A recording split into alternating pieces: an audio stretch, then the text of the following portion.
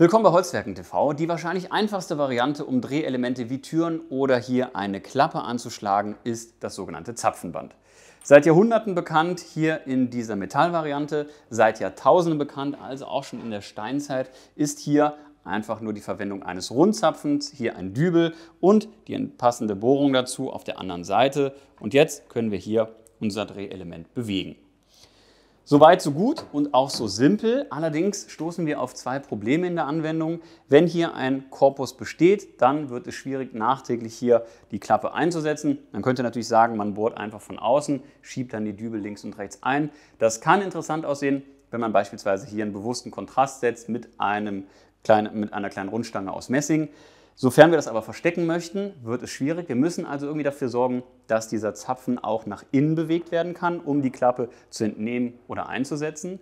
Und sofern wir nicht auf eine CNC zurückgreifen können, kann es schwierig werden, wenn wir gewisse Abweichungen in der Toleranz haben, also bei den Bohrungen, die wir hier brauchen in den Wangen von unserem Korpus. Denn stellt euch vor, hier auf dieser Seite ist die Bohrung ganz klein bisschen nach unten oder nach oben gerutscht und auf der anderen Seite ein klein bisschen nach vorne oder nach hinten und schon stimmt das mit der Klappe nicht so ganz. Zwei sehr einfache Möglichkeiten, um diese Probleme anzugehen. Die habe ich hier jetzt heute mal vorbereitet. Das hier ist mein Gesellenstück. Die Variante ist also schon seit einigen Jahren erprobt. Man kann das auch ein bisschen moderner haben. Es gibt eigentlich genau das, was ich hier umgesetzt habe, auch schon fertig aus Kunststoff und einer Feder zu kaufen.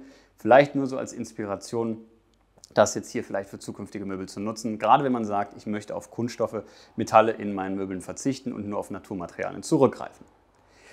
Wir brauchen dazu unter anderem eine Rundstange, in diesem Falle aus Hartholz, Buche. Die gibt es im Baumarkt in 5 mm Schritten zu erstehen. Ich habe mich jetzt hier für einen Durchmesser von 30 mm entschieden. Und dazu passend brauche ich auch einen Forstnerbohrer mit 30 mm. Damit werde ich jetzt eine Sacklochbohrung ausführen, um jetzt hier den Verstellmechanismus zu integrieren. Dazu kommt dann noch eine Dübelstange, in diesem Falle 10 mm. Das ist dann hier der Rundzapfen, der dann in der Klappe gleich eingesetzt wird.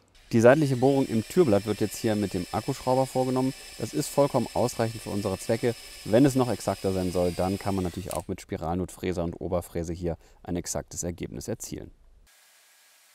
Parallel zu dieser Bohrung wird nun mit einem 6 mm Nutfräser und der Oberfräse eine Nut gefräst, die es dann hinterher ermöglicht, die Zapfen seitlich zu verschieben.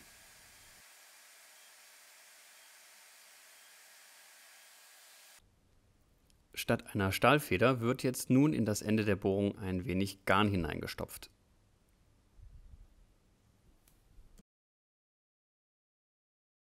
Anschließend kann der passende Dübel eingesetzt werden. Noch eine kleine schnelle Bohrung, um hinter den Zapfen auch wirklich verschieben zu können.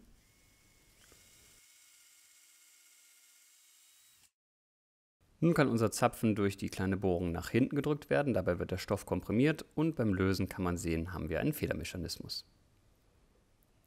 Jetzt können beide Lösungen miteinander kombiniert werden. Wir haben hier die Drehscheibe mit der exzentrischen Bohrung. Kann man übrigens auch ganz schön sehen, dass da das Holz ein bisschen geschrumpft ist. Und jetzt wird hier der Federzapfen eingesetzt. Wir haben also die Möglichkeit, hier Höhenunterschiede auszugleichen. Wenn die richtige Stelle gefunden ist, einfach markieren und die Scheibe einleimen. Eine selbstgemachte Holzunterlegscheibe sorgt dann für den nötigen Abstand. Hier jetzt nochmal bei der eingebauten Klappe. Wir suchen uns mit dem Insexkant das passende Loch. Jetzt wird der Zapfen zur Seite geschoben und die Klappe kann entnommen oder wieder befestigt werden. Wie immer dient das Video natürlich vor allem zur Inspiration. Man kann sich von dem Gedanken, der bei diesem Möbel im Vordergrund stand, nur mit Naturmaterialien zu arbeiten, entfernen und modernere Materialien wie beispielsweise eine Springfeder statt dem Seil und hier statt diesem Runddübel aus Buchenholz auch Messing verwenden. Passend vielleicht auch dazu hier diese Rundscheibe aus Messing herstellen. Ich kann mir vorstellen, dass es einen sehr schönen Kontrast gibt, wenn man doch diesen Beschlag ein wenig mehr in den Vordergrund rücken möchte, um zu sagen, der ist wirklich selber gemacht. Viel Spaß beim Nachmachen, viel Spaß beim Verbessern, beim Inspirieren lassen. Bis zum nächsten Mal.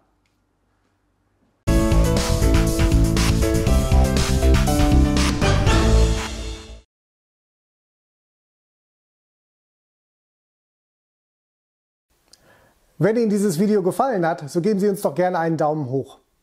Hier unten können Sie auch gleich den ganzen Kanal von Holzwerken TV abonnieren, um nichts zu verpassen. Oder Sie bleiben am besten gleich dran. Hier links gibt es noch jede Menge gute Filme.